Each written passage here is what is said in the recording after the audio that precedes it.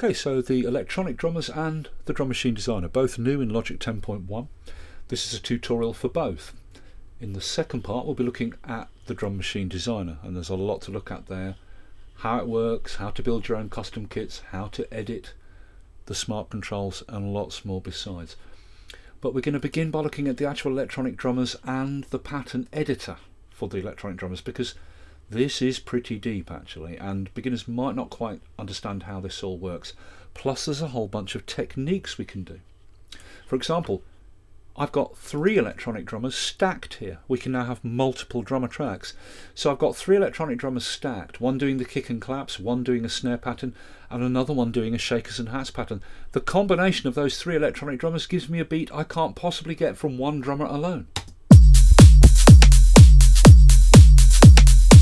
Yeah, and then I'm layering a simple Ultrabeat open 909 hat over the three drummers to complete the beat. So there's all sorts of techniques we can do as well as understanding how this editor works. Okay, so let's get into this first. All right. I'm going to start with a new project and I'm going to create a drummer track.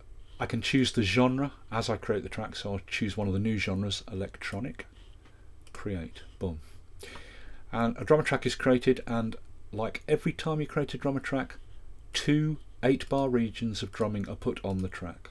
I'll get rid of the second one. Put a cycle range around that. Let's tidy up a bit. Okay now I'm going to zoom in on this work area. Okay now if you're completely new to this and you don't understand this is a drumming region. This is the pattern okay the big triangles are the loud drums, kick, snares, etc. And the little row of small triangles in the middle is the high-end stuff, shakers, hats, tambourines.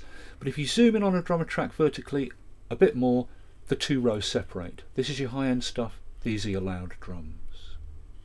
Okay, so we've got these new drummers. We've got a new genre, electronic, with five electronic drummers in. A new genre, hip-hop, with three drummers in. And in the old alternative category, there are two new electronic drummers, Maya and Duncan. So I'll choose electronic Julian. Okay, now every electronic drummer has two default kits, but just like with the acoustic drummers, any electronic drummer can play any kit you like. Okay, when you choose the drummer, it's about the patterns the drummer makes. Okay, now here's the editor. We've still got the presets down the left here. Every drummer has a selection of factory presets. Yeah and you can load these up and use them as, as is or you can load them up and use them as a starting point to edit a custom pattern from.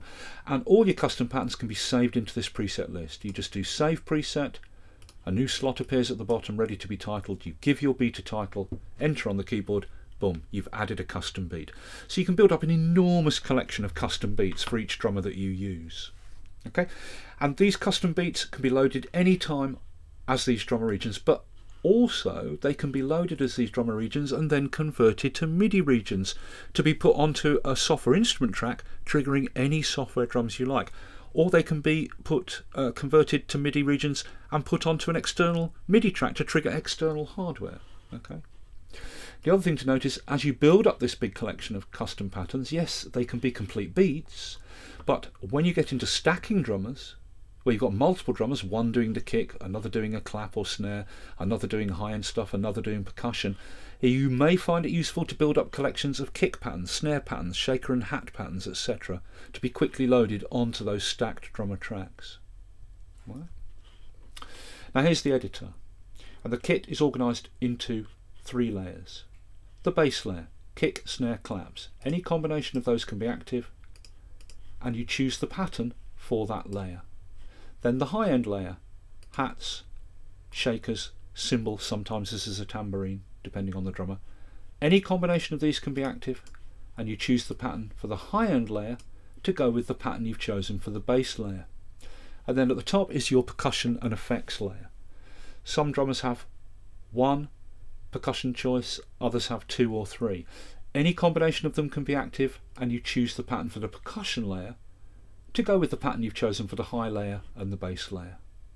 And of course, any layer can be completely inoperative.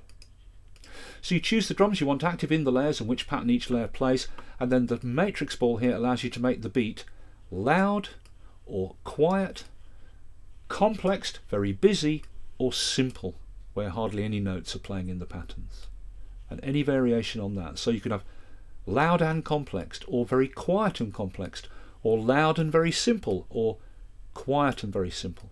Okay, anything you want. So if I put the ball there, my beat is 75% complex and 75% loud.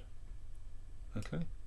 Now we've still got the fills control here, which puts fills into the pattern. Um, we'll come to that in a bit. There's a few things to look at there. We've still got the swing control, 8th or 16th swing at whatever percentage you like. But the main change with the electronic drummers editor compared to the acoustic drummers editor is here in the details. The electronic drummers have this complexity range slider section and this is very very clever. This allows us to restrict the complexity of any individual drum to a particular complexity range and this vastly changes the amount of different beats we can get from the combinations of active drums and the patterns for their layers. Okay.